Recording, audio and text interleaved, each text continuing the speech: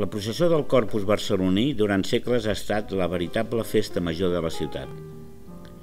S'hi celebra des del 1320.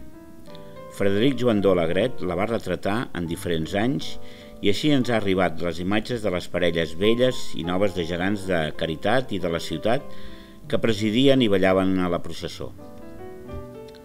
El Rodanxó i la Rodanxona, els gegants de Carnaval, es van estrenar l'any 1859 van ser cedits a la Casa de la Caritat el 1891 perquè en gaudissin els nens i des de llavors van presidir la processó del Corpus fins l'any 1918.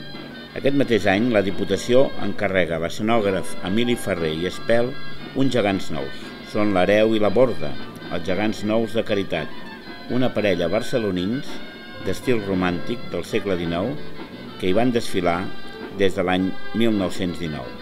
Els gegants de la ciutat ostenten la més alta representació del protocol del seguici popular de Barcelona. Des del segle XVIII, la presència dels gegants de la ciutat a les festes i celebracions barcelonines més importants és constant. Han canviat, però, la seva imatge al llarg dels segles. Frederic Joandó en retrata tres parelles diferents. Sobre el 1915, abans de la retirada d'aquests gegants, va fotografiar la parella de l'Hereu i la Pobilla, que havia fet en Lluís Labarta l'any 1910.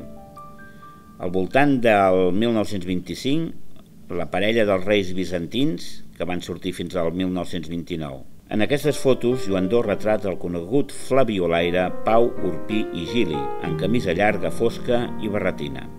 La tercera parella la fotografia l'any 1929, la parella nova que l'Ajuntament va encarregar a Francesc Labarta per l'exposició internacional, Jaume I i Violant d'Hongria.